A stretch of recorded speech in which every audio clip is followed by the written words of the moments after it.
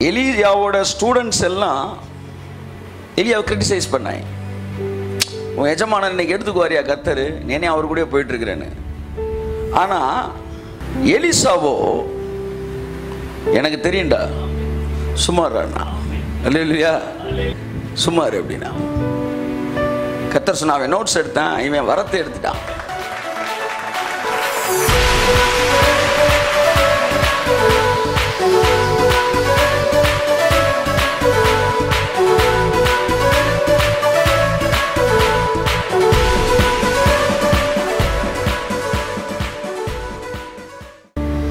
எலியாவோட students எல்லாம் எலியாவை criticise பண்ணாங்க உன் எஜமானன் இன்னைக்கு எடுத்துக்குவாரியா கத்தரு? நேனே அவர் கூட போயிட்டு இருக்கிறேன்னு ஆனா எலிசாவோ எனக்கு தெரியும்டா. சுமார் அண்ணா. இல்லையா அப்படியா? எனக்கு தெரியாதே அப்படி பேசல. இன்னொரு குரூப் இருக்கா? அப்படியா? எனக்கு தெரியாதே அப்படின்னு சொல்றேன் எல்லாம் தெரியும். சுமார் அப்படின்னா. கத்தர் சொன்ன அவன் நோட்ஸ் எடுத்தான் இவன் வரத்தை எடுத்துட்டான். மாணவனுக்கும் இருக்கிற உறவு ஒரு பயங்கரமான ஒரு உறவு ஆத்மார்த்தமான உறவு. அந்த உறவு வந்து அடுத்த ஜெனரேஷனுக்கு அந்த டார்ச்சை கொண்டு போயிடும் ஆகவே நீங்களும் கூட விதமாக இன்னைக்கு கிறிஸ்தவ உலகத்தில் குறைவாக பேசப்படுகிற அந்த விஷயம் வந்து லீடர்ஷிப் மேலே இருக்கிற அந்த அந்த அந்த the connection between the leader and the believer அதை பற்றி ரொம்ப பேசுகிறதே கிடையாது. அதனால தான் ஊழியங்கள் உடைந்து உடைந்து உடைந்து உடைந்து போயிட்டே இருக்கு. ஆனால் இந்த விஷயங்கள் பேசப்படுமே ஆனால் தலைமைத்துவத்தில் இருக்கிற அபிஷேகம் டபுள் த ஃபோல் டபுள் த ஃபோல்டாக போயிட்டே இருக்கும். ரெண்டு மடங்கு ரெண்டு மடங்காக பெருகிட்டு இருந்திருக்கும்.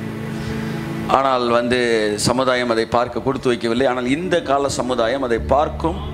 நாம் எல்லோரும் அதை பார்ப்போம். தலைமைத்துவத்தின் அபிஷேகம் எனக்கு அளிக்கப்பட்ட கிருபையில் பங்குள்ளவர்களாக இருந்துங்க நீங்கள். சதன சொல்லி வந்து நல்லா யாரை கேட்டாலும் நல்லா பிளஸ் பண்ணுங்க. ஆமே. யாரை குறித்து யார் பேசினாலும் நேற்று வந்து ஒரு ரெண்டு வார நாளைக்கு முன்னாடி ஒரு அம்மா வந்து என்கிட்ட வந்து ரூலியக்காரை பற்றி அப்படியே மெதுவாக எடுத்துடுவேன் அம்மா அவர்கள் இருவருடைய சங்காரத்தை அறிந்தவன் ஒன்று நீ இன்னொன்று நானாயிருவேன் பாதியிலே நிப்பாட்டு. ஆனாலும் அந்த கொடுக்கப்பட்ட அந்த ஒரு நிமிடம் கேப் இருக்குன்னு அந்த கேப்புக்குள்ளே கட கட கடன்னு அந்த ஒன்று சொல்லிடணும்.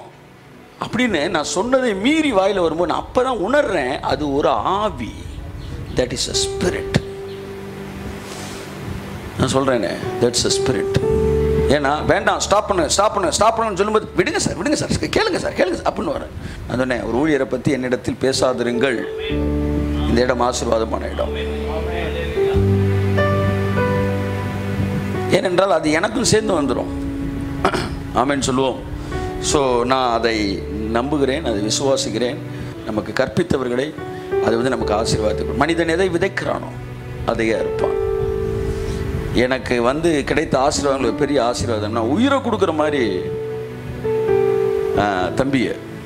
தம்பியுடையான் படைக்கு அஞ்சான். தமிழ்நாட்டிலே நான் அடிச்சு சொல்லுவேன் இந்த அளவு அட்டாச்சான பசங்க எங்கேயுமே இருக்க மாட்டாங்க. என்ன ஆண்டவர் என்றேன் மனிதன் எதை விதைக்கிறானோ அதை அறுப்பான்னாரு